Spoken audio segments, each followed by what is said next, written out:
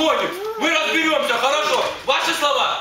Вот тут Я- половина, прися- прис- которые сидят, вы тут говорили. Вы тут говорили, лично вы говорили, сидели. Не пушите меня. Все говорили, мы разберемся с этой ситуацией. Мы решим этот вопрос. Что вы сделали для этого? Я вам Вы расскажу. нас загнали вообще в жопу полную. Просто Я полную жопу. Я вам расскажу, что я Домой стыдно идти. Вы понимаете, Ребенку что город живет за счет Вы только что, наших понимаете, шаг. свет тут пришли бумаги. Магазины, садики, только я? Шаг. Абсолютно все. Все Не получаете вы зарплату, мы предприниматели, не можем платить Уровень налоги. жизни опустился до такого уровня. А это только начало. Впереди 1 сентября.